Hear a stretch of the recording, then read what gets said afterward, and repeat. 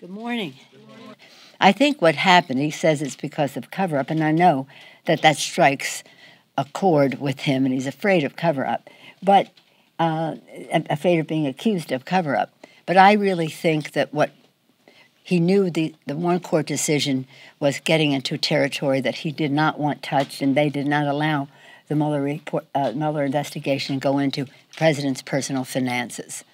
So Mazars was a setback for him, and then he must have known the Deutsche Bank decision uh, would be consistent, but in any event, uh, to inoculate against uh, it, its um, presentation, he, he pulled a stunt. Now, I truly believe that the president has a bag of tricks, and the White House has a bag of tricks that they save for certain occasions.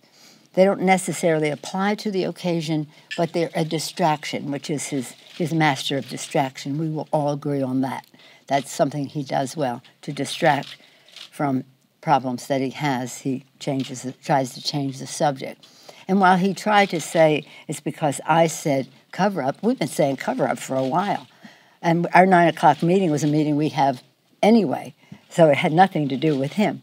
But I think what really got to him was the, these court cases and the fact that the House Democratic Caucus is not on a path to impeachment, and that's where he wants us to be. And when he saw that that was not happening, that, again, with the cover up, which he understands is true, just struck a chord. So it was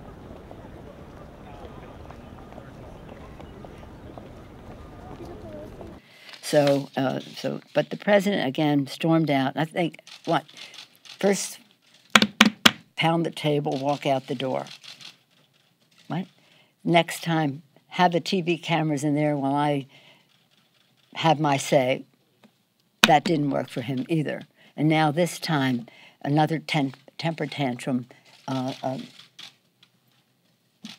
again, I pray for the president of the United States I wish that his family or his administration or his staff would have an intervention for the good of the country. Yes, ma'am. Madam Speaker, would you be prepared to change your rhetoric given the political landscape, your understanding of the president's temperament? Uh, your prayer comments almost suggest you're concerned about his well-being. I am. And the well-being of the United States of America. Speaker, with June 4th as a date to move forward with contempt on Barr? We're not saying, as the president said, if you don't, um, if you don't stop investigating me, if you don't stop honoring your oath of office, I can't work with you. That's basically what he's saying. Maybe he wants to take a leave of absence. I don't know. You go back and re-engineer this? You said in private, you suggested it today, that the president wants to, on some level. Of course. I told you. Can you, uh, explain that a bit, and can you also explain the comment you made about the staff doing an intervention?